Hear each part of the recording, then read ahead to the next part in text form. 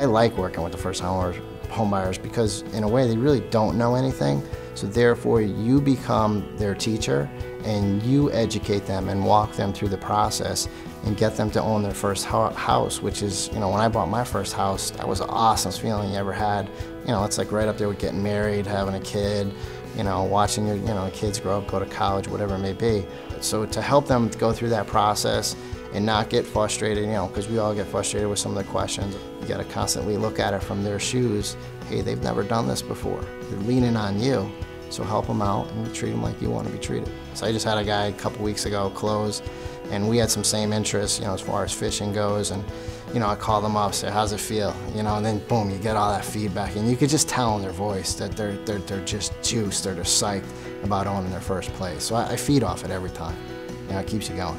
It's an awesome feeling.